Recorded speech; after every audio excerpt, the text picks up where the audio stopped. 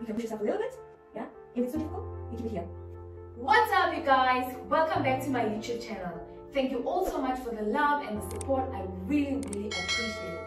Welcome to the first episode of Morning Workouts. Today, we are gonna do a full session of a full body workout. So before we get started, why don't you go along and get your cup of tea, sip along with me, and then we can get talking about the basics of stretching. Okay, so most of you already know that I start all my workouts and I end all my workouts with a full body stretch. I believe that stretching is very, very important and that's why my first episode of the morning workouts is gonna start with stretching. So, stretching improves your blood circulation. Stretching, it prevents injuries. It improves your range of motion. And it just prevents a lot of pain after a very, very hard and tedious workout. I know that sometimes we go to the gym, we work out, and then the following day we're so sore, we can't even move, we can't lift anything, and it's because we didn't stretch enough. So stretching is very, very important, and we're gonna start with the very, very basics. And I want everybody to follow along so that you can have a basic idea of what I start with and what I end with. So without further ado, let's get into it. So I like to start off with basic, the very basic, which is inhaling and exhaling. And it helps me to focus myself, it helps me to realize where I am, and you can call it a little meditation, but for me, generally, it just helps me to be centered and know where I am. So what you wanna do, you wanna place your palms right on your knees, like this. You close your eyes, and then you take a deep breath. You hold it for about five seconds. One, two, three, four, five, and then you breathe out. Breathe in again.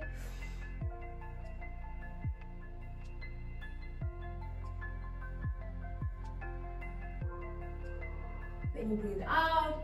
And then the last one.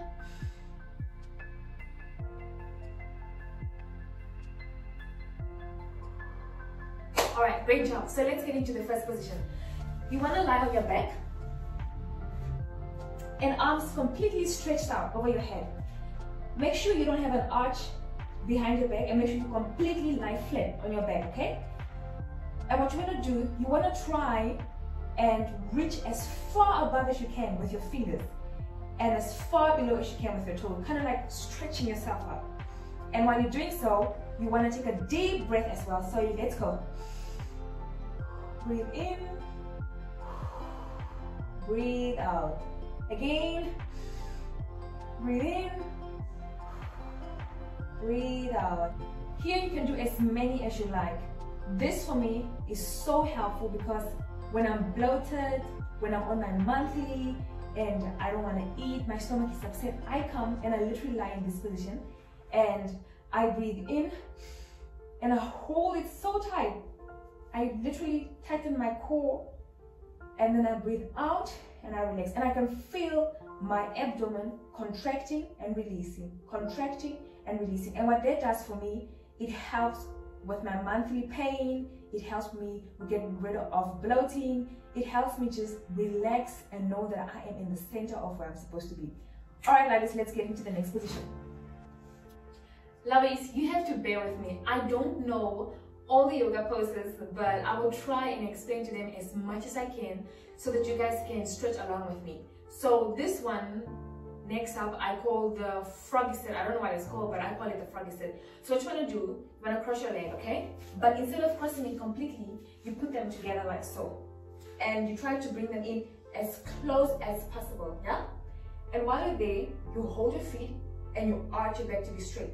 And what you need to do, you flare your knees up and down, like I'm doing so.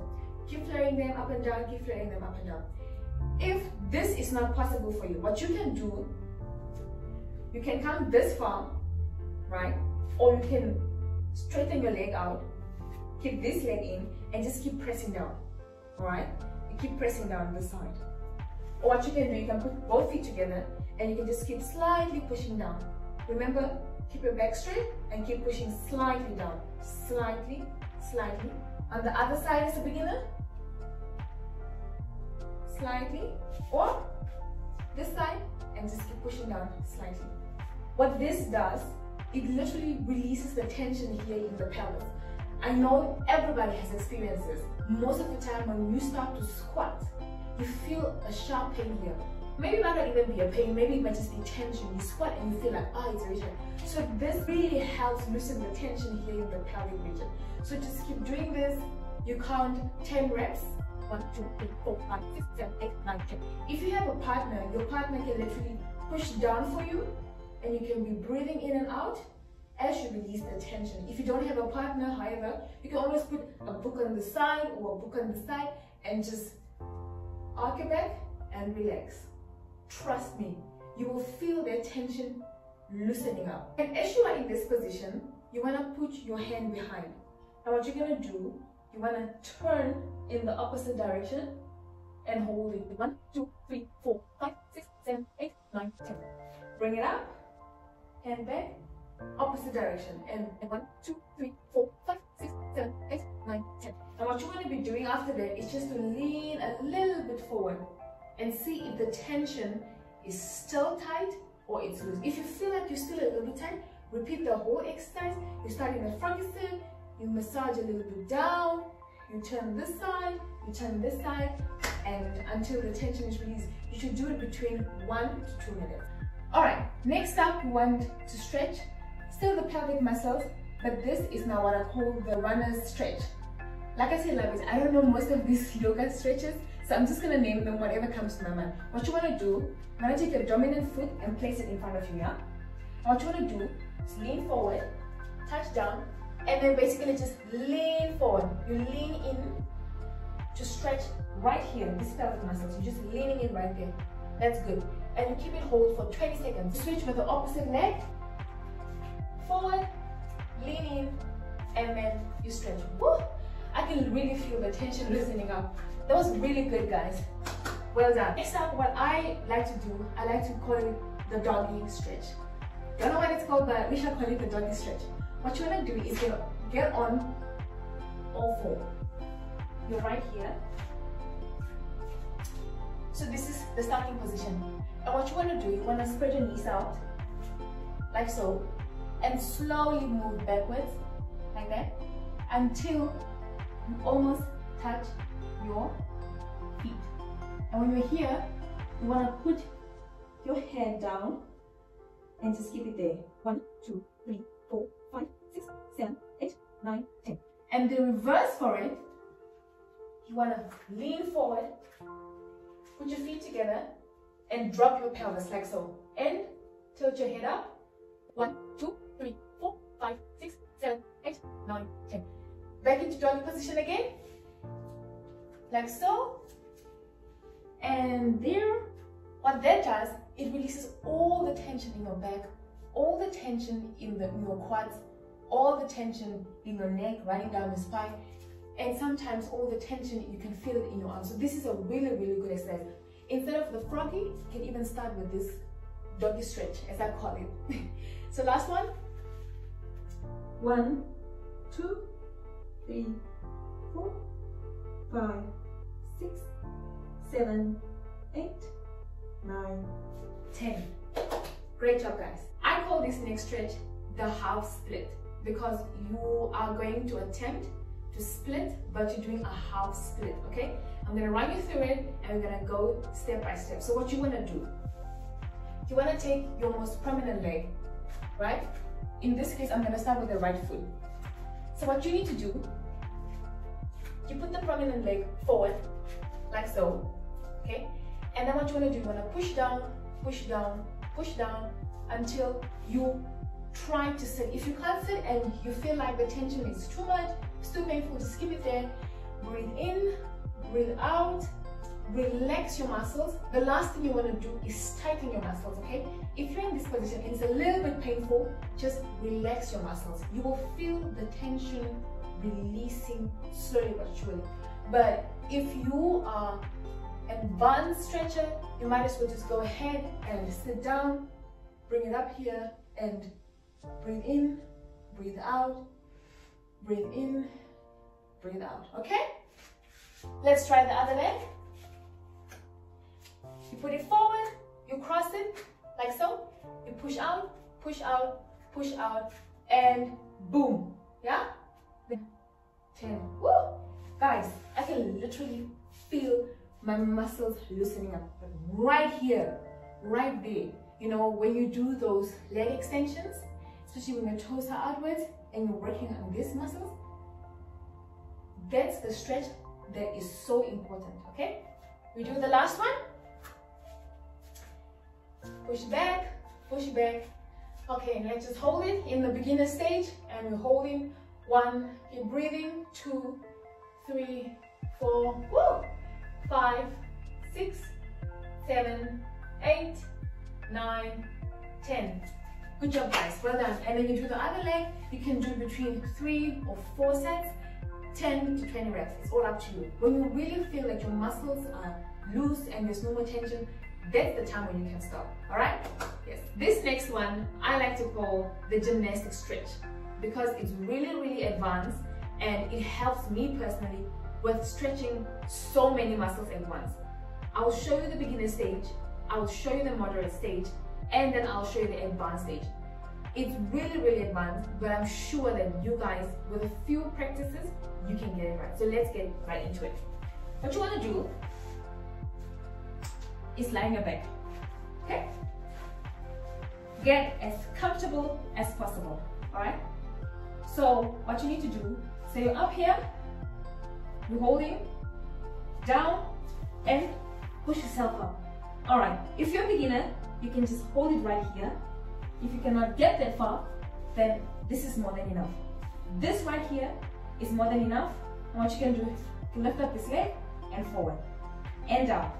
Lift up this leg, up and down. And then that will give you momentum to drive up. So let's start again. Up, down, and we're here. This will help you to support yourself. So what I like to do here, I like to bend my knees like so, okay? And then I'll turn it outwards and inwards. And to the right and to the left. And to go a little bit further, you open up, you touch the floor like this, okay? Put your leg down, and then you start breathing. Nine, ten. Together, knees stuck in, roll down, and relax. Okay, let's go. Last one. Position yourself and down and push and up. Nice. Tucking your knees and out and to the left and to the right and to the left to the right to the left to the right. You still you feel like you're doing Russian twist, hey? But we can call it the reverse Russian twist. To the left, to the right, and you slowly open up, you touch the floor, hands down, and one. If you can, you can push yourself a little bit, yeah? If it's too difficult, you keep it here. Bring it up, feet together, knees in, roll out, touch the floor, and that's it. The last stretch I call the bend over bridge. I really don't know the names for these stretches, so I personally call it the bend over bridge. This comes from childhood and I've carried it with me all along. And I like to do it because not only does it give me a feeling of being in control, a feeling that I'm flexible, but I literally know that all my muscles are being stretched out in one movement. So let's get into it. I'm gonna show you the beginning stage, the intermediate stage, and then the advanced, of course. What you wanna do, yeah, is lying your back, and with your hands, yeah, with your hands, you put them right here, behind your head, on your shoulder, behind your head, just like so. You don't want to put them like this. You want to put them in front of you, and as they are in front of you, as they are in front of you like this, as your palm is in front of you like this, just take it backwards, and you put it there. Boom. Same side. Palms facing upwards. You just turn it outwards like this, and boom. And what you want to do, you want to get comfortable on the floor. So for me, this is pretty much, I'm comfortable here. This is my comfort zone. And what you need to do, you try and push yourself up. Like so. If you can't get here, what you can do, if you are here, just try and lift yourself up. That's it. Every day, you make small step, progressive small step. If you cannot do the complete bridge in one go, literally put your hands there and try to lift yourself up every day. Lift every day. And then on certain days, you lift and you try to push yourself up while your head is balancing you, okay? So lift yourself up, lift up your feet, and you're on your head. That is the beginner stage. Every day, you do small step, and finally, when you are confident, you can get here, and boom, okay? So what I like to do, I like to add a little bit of twist. I like to be on my toes, down here, one, two, three, four, five, six, seven, eight, nine. Bring up head first, then your glutes to your heels, slide yourself down, and boom, we are back in starting position, okay? Just take a deep breath, and you breathe out, breathe in, and you breathe out. Good job, guys. Well done. By this point, you should be completely out of breath, but your muscles are relaxed. There's no more tension, especially in the pelvic area, in your back, in your shoulders, in your arms, in your neck, because we're twisting and turning. But to finish off everything, I like to breathe in again and breathe out just for relaxation. So what you want to do is place your palms on your knees like so. And then you breathe in. And then you breathe out. You breathe in. And you breathe out. And while you're doing so, since it's morning time, you can be sipping on a tea or a glass of water. Mm -hmm. And then you breathe in again. You breathe out. I feel so relaxed, so in tune, so at peace. It's absolutely amazing. And you breathe in. Breathe out. You can do as many as you like as many as you like. There is no limit here. Whatever you prefer, whatever works for you, definitely is the right way to go. So that was all the stretches we had for the day. Definitely do check out this video of how I transform my body in a whole year or check out this video, my workout with D Mango. And until a further next time, it's goodbye ninjas.